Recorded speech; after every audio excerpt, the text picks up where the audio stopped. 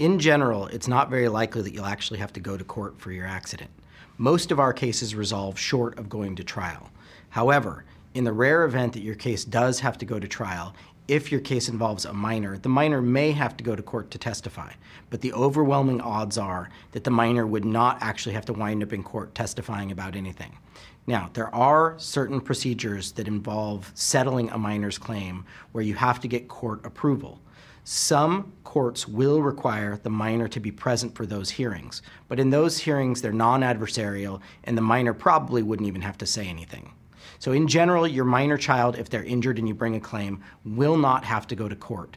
If, by the way, the child does have to go to court, the law does offer certain protections for minors that it doesn't offer for adults.